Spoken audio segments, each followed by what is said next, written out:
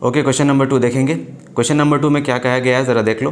ना question number two में ये बोला जा रहा है that an electric oven of two kilowatt power is given two kilowatt यहाँ पे गिवन है।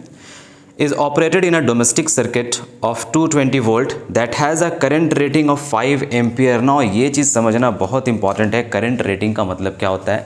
बेसिकली ये जो क्वेश्चन है, ये पावर रेटिंग का है। पावर रेटिंग का टॉपिक ऊपर आई बटन पे क्लिक करके आप देख लेना और नीचे डिस्क्रिप्शन में भी आपको पूरा चैप्टर मिल जाएगा। उसमें एक टॉपिक होगा पावर रेटिंग का। वो भी आप देख सकते हो अगर डिटेल में समझना चाहते हो तो। ऐसे शॉर्ट में समझ लो क्या होता है पावर रेटिंग पावर रेटिंग ये कहला पावर रेटिंग दो इन्फॉर्मेशन हमें देता है। एक तो इन्फॉर्मेशन देता है कि कितना फिक्स्ड रेजिस्टेंस कितना होने वाला है? फिक्स्ड रेजिस्टेंस के बारे में आ, हमें बताता है और मैक्सिमम करंट क्या फ्लो कर सकता है उस पर्टिकुलर डिवाइस में वो हमें बताता है। तो देखो यहाँ पे रेटिंग गिवन है करंट का 5 एम्पियर मतलब ये जो एप्लियंस है ये ज़्यादा से ज़्यादा 5 एम्पियर का करंट ही बर्दाश्त कर सकता है। उससे ज़्यादा अगर करंट इसको दिया जाएगा तो ये एप्लियंस ख़राब हो जाएगा ओवरलोडिंग के कारण जल भी सकता है।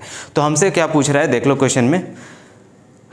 What result do you expect explain तुम क्या रिज़ल्ट एक्सपेक्ट करते हो ये एक्सप्लेन करना है। तो देखो, यहाँ से अगर हम देखें, इस गिवन वोल्टेज और पावर के साथ इस पर्टिकुलर एप्लियंस में कितना करंट फ्लो करेगा? तो we know that V is equal to sorry power is equal to V into I power is equal to V into I power है टू किलो वाट इसको watt में convert करेंगे तो to thousand वाट हो जाएगा ये।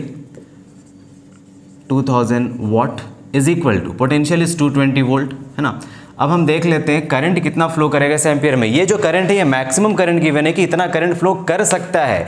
कर रहा है नहीं रेटिंग है ये current rating maximum current current rating का मतलब होता है वो मैक्सिमम करंट मैक्सिमम करंट जो अलाउेबल करंट है, जो इसके अंदर फ्लो कर सकता है।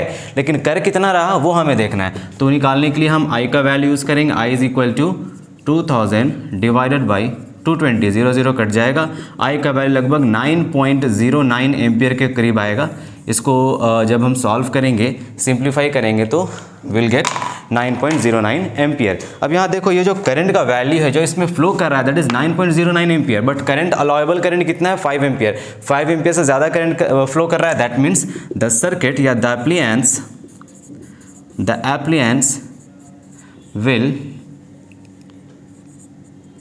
will get damaged due to overloading. Due to overloading. समझ आ रही है बात आपको?